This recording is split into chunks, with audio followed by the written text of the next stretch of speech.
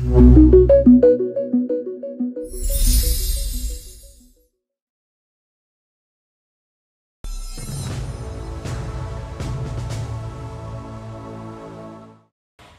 pemukiman padat penduduk Kampung Pulo di Jatinegara, Jakarta Timur dilahap si jago merah. Sepuluh rumah dilaporkan terbakar. Ya, walau tidak memakan korban, tetapi warga mengalami kerugian hingga ratusan juta rupiah.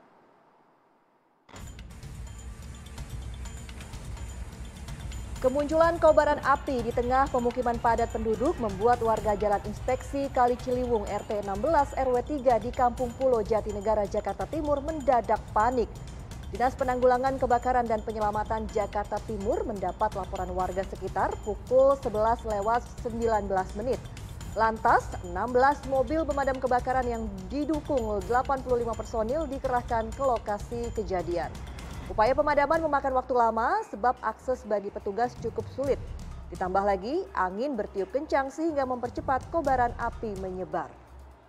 Hasil pendataan petugas di lapangan tercatat sedikitnya 10 rumah warga hangus terbakar. Dan api pun dapat dijinakan hingga akhirnya api berhasil dipadamkan sekitar dua jam kemudian. Tidak ada korban jiwa dalam peristiwa ini, namun kerugian yang ditimbulkan diperkirakan ratusan juta rupiah. Dugaan sementara terkait penyebab kebakaran diduga kuat akibat korsleting listrik yang terjadi di salah satu rumah warga yang terbakar. Untuk selanjutnya, kasus kebakaran ini ditangani oleh Polsek Jatinegara.